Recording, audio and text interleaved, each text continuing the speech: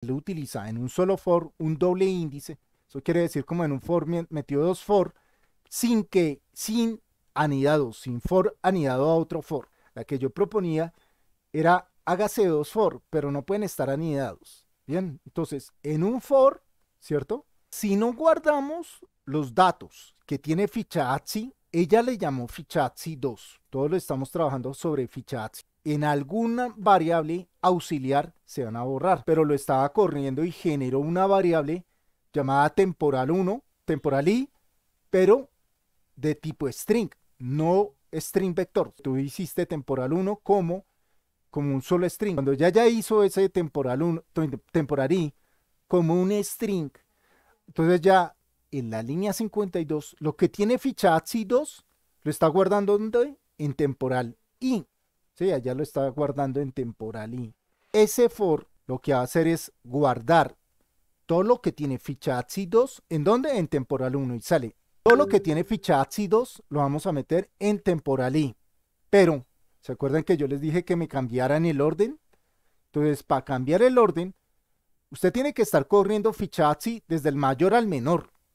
Y lo va a guardar en donde? En temporal. Por eso ella cuando dice ficha ATSI 2, ¿sí? Arrancó desde el número total de, de cajas que quien se lo da ficha ATSI 2.length. Si tiene 5 cajas, 10 cajas, entonces ahí te va a decir, bueno, tienen total 5 cajas.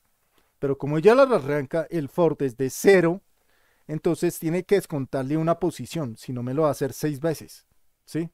tiene que descontarle una posición para que vaya desde 0 a 4. Por eso en la línea 54 está diciendo dentro fichazzi 2.length menos 1, para que no me arranque desde el 5, sino desde el 4. 4 menos quién? Menos lo que lleva en i. ¿Vale? Entonces ya estábamos por allá, tomando la última posición que va en fichazzi 2, la última, que es la última posición sería la dirección 4 de fichazzi 2, lo va a estar guardando en temporal i y temporal y ya almacenó los datos y no los hace perder. ¿Sí? Cuando los esté ordenando, ahí ordena y no pierde los datos. Y después temporal 1, en el segundo for, la línea 61, sobre la, esos datos ya los guarda nuevamente en fichazzi 2. Porque es que si, si hacíamos solo eso dentro del for, se nos perdían los datos. ¿Vale? Y ya después lo imprime. ¿Imprime quién? Fichazzi 2. Línea 60, quítala. Eh, sube el código, sube. Ah, la vaina es que tú lo trabajaste, lo podemos compartir, compártelo, pero todos van a entender que Fichazzi 2 para ella, ¿sí?